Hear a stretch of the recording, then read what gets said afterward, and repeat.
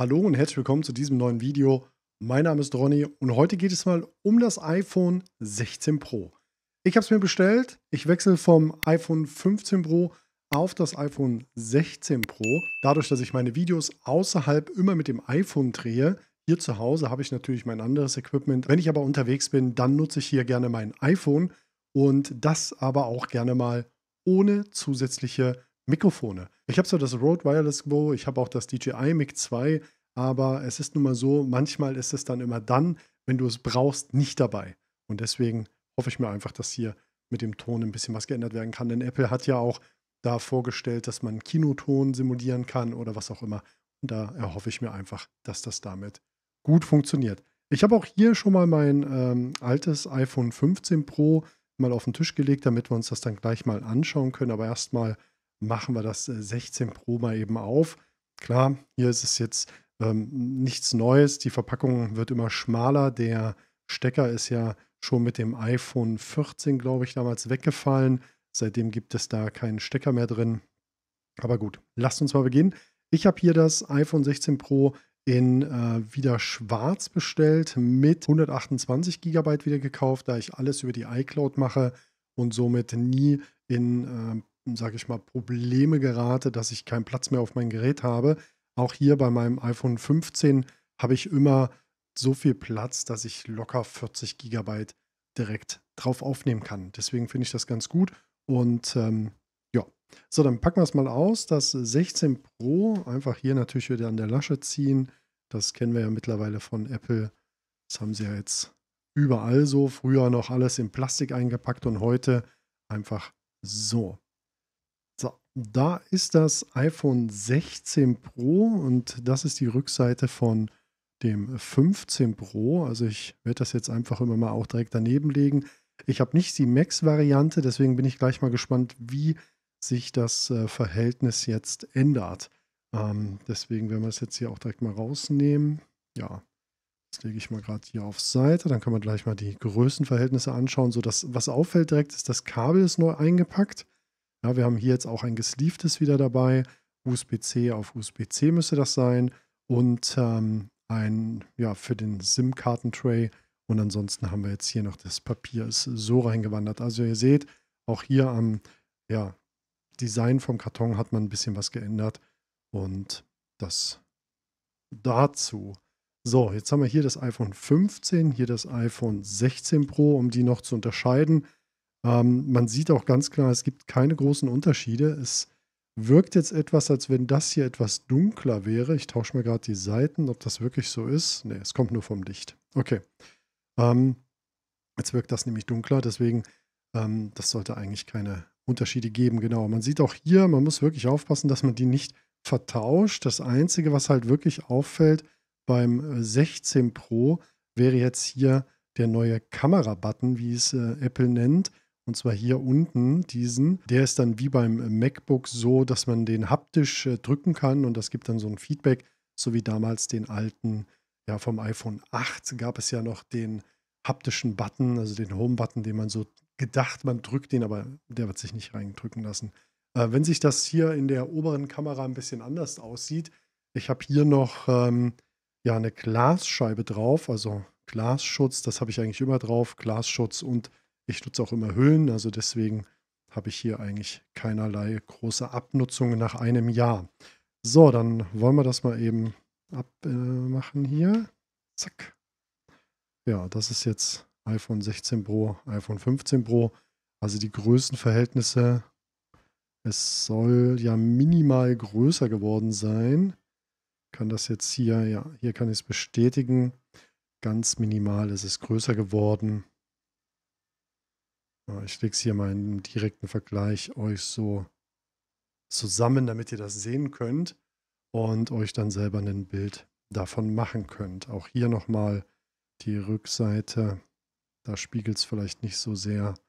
Wenn wir jetzt noch die Hülle mal nehmen, dass hier wirklich beide dieselbe Höhe haben, damit ihr seht, dass ein kleiner Größenunterschied entstanden ist. Genauso werden wir das jetzt auch mal in der Breite machen. Auch hier merkt man, dass das 16 Pro leicht breiter geworden ist. was man halt anhand der Specs auch erkennen konnte. Ja, aber ganz minimal. Also es ist wirklich, ja, man müsste sich das mal auf der Webseite anschauen. Also wenn man sich das auf der Webseite anschaut, ist es tatsächlich so, dass wir jetzt auf dem 16 Pro 6,3 Zoll Display haben und auf dem 15 Pro 6,1 Zoll. Ähm, ich werde auch nochmal zu den Größen heruntergehen, damit wir uns mal ganz kurz die Dimensionen vom Gerät selber anschauen können. Genau. Und da ist es so, dass die Höhe vom 16 Pro genau um 3 mm angestiegen ist. Also wir haben jetzt die Höhe ist etwa 3 mm höher und in der Breite ist es ungefähr 9, also 0,9 mm ähm, breiter geworden. Also wirklich noch nicht mal ein ganzer Millimeter. Aber das auf jeden Fall zu den Größenverhältnissen. Jetzt hat man natürlich beim iPhone 16 Pro diesen neuen Schalter, der auch beim iPhone 16 vorhanden ist. Darüber soll die Kamera gesteuert werden können. Ähm, ich habe schon aus vielen Videos entnommen, dass das, ich merke es jetzt selber, dass der Button wirklich, äh, also wirklich zu weit nach äh, dort gelangt ist. Wenn man das jetzt so verdeckt man immer, also ich bin jetzt hier genau auf dem Button, ihr seht es, ich verdecke dann halb das Display. Es ist wahrscheinlich dann sogar sinnvoller, das Ganze wieder übers Display zu steuern. Allerdings hochkant, muss ich sagen, empfinde ich das doch etwas besser. Wenn man jetzt zum Beispiel Stories macht oder so und das dann auch hierüber ähm, ja, machen könnte, dann wäre das mit Sicherheit gut, aber das werde ich auf jeden Fall auch testen. Werde dann dazu noch mein Fazit geben. Ja, ansonsten, die Kanten sollen leicht etwas runder geworden sein. Das kann ich jetzt hier so auf den ersten Blick nicht sehen. Die sollen nochmal etwas runder geworden sein.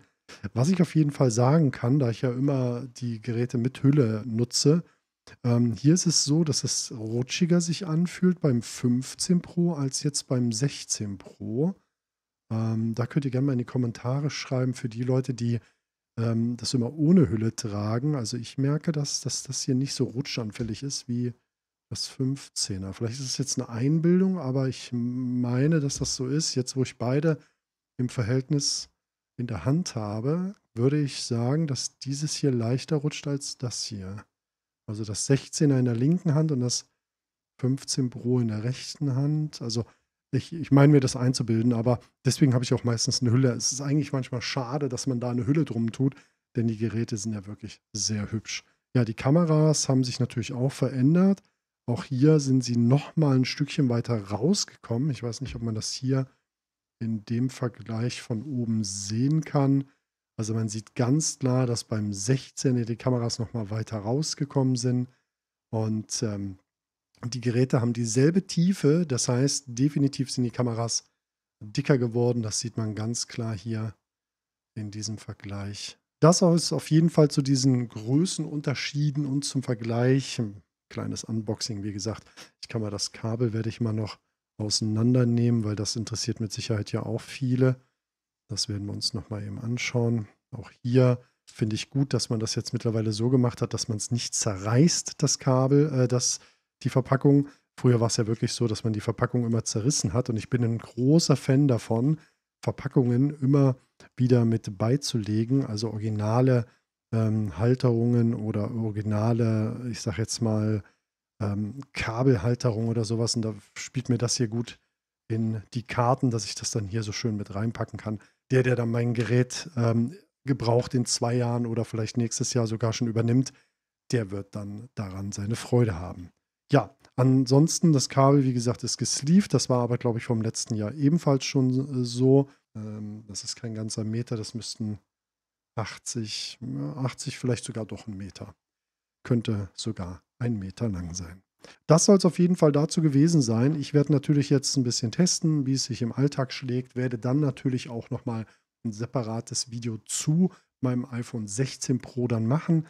Das iPhone 15 Pro, das geht dann wieder in den Umlauf. Ich habe da schon einen Käufer für und hier ist es dann natürlich so, dass wir das dann testen werden und ich werde berichten, wie sich dann anfühlt. Es soll ja auch diesen ähm, Unterschied vom Display her geben. Da bin ich mal gespannt. Also, dass die Display-Ränder, das sieht man jetzt hier bei dem Dunklen natürlich nicht so krass, ähm, aber ich sehe es schon, dass die Display-Ränder auf jeden Fall schmaler geworden sind. Da freue ich mich auf jeden Fall drauf und ich werde euch dann darauf auf dem Laufenden halten. Ich hoffe, dass dieses Video einmal wieder hilfreich war für dich. Wenn dem so ist, lass mir gerne einen Daumen nach oben da, abonniere den Kanal, aktiviere die Glocke, damit du hier keins der weiteren Videos verpassen wirst. Und jetzt wünsche ich dir noch einen schönen Tag, morgen Mittag oder Abend oder wenn du jetzt zu Bett gehst, eine angenehme Nacht. Euer Ronny ist raus. Cheers.